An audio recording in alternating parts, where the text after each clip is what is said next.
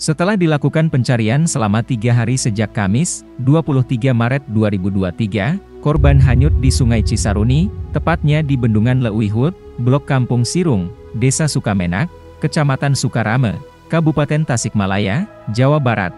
Akhirnya ditemukan pada Minggu, 26 Maret 2023, diketahui, saat ditemukan, korban yang bernama Gunawan Solihin, 30, asal Kampung Pamipiran Ranca Beureung dalam kondisi meninggal dunia, Ketua Taruna Siaga Bencana, Tagana, Kabupaten Tasikmalaya Jembar Adi Setia, mengatakan bahwa tim Search and Rescue, SAR, gabungan mendapatkan informasi bahwa pada pukul 7.15 WIB pagi ini, korban telah hanyut sampai desa Mandala Mekar, Kecamatan Jatiwaras, Kabupaten Tasikmalaya, Jawa Barat.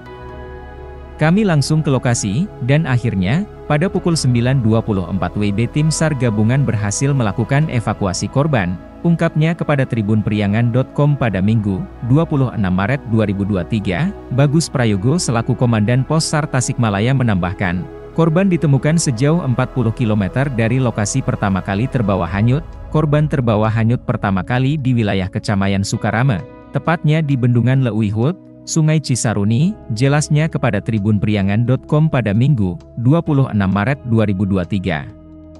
Sedang hari ini, tambahnya, korban ditemukan di Sungai Ciwulan, di daerah perbatasan Kecamatan Jatiwaras dan Kecamatan Cibalong, yang keduanya berada di wilayah Kabupaten Tasikmalaya, Jawa Barat.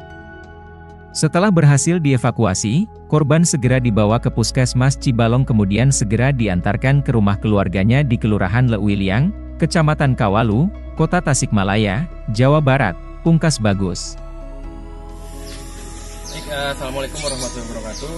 Laporan hari keempat, Alhamdulillah uh, survivor atas nama Gunawan Solihin uh, berhasil ditemukan di wilayah Setiawaras, kurang lebih jaraknya 40 km dari lokasi kejadian. Korban berhasil kita, tim SAR gabungan evakuasi itu di pukul 9 lebih 24 menit.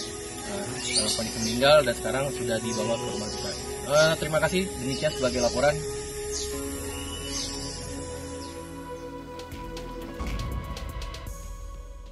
Lupa like, subscribe, dan share ya.